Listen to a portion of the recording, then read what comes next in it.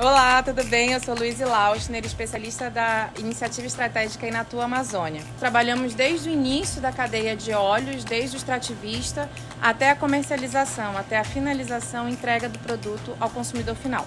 O nosso dia a dia envolve entender a realidade de muitas pessoas, conectar essas pessoas, muitas vezes, esses extrativistas que estão lá numa reserva de desenvolvimento sustentável, até um cliente que de repente está fora do Brasil. E isso envolve muitos desafios: o desafio logístico, o desafio da comunicação e o desafio de adequar a nossa realidade amazônica a uma indústria que já funciona, a um comércio que já funciona e ao mesmo tempo explicar para esse comércio a realidade amazônica e fazer essas adaptações. Minha ação gera impacto na Amazônia.